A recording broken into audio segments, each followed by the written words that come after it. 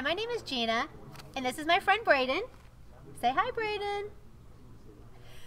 And we have just returned from the St. Louis Crisis Nursery to drop off a tundra full of toys. The idea is we are going to collect diapers for December. Right, Braden? Right. so please come on down. We're reaching out to our Facebook friends, to our customers, to our vendors to please contribute. Thank you very much to everybody who has already helped us. Have a Merry Christmas. Bye. Bye. Merry Christmas. Thank you.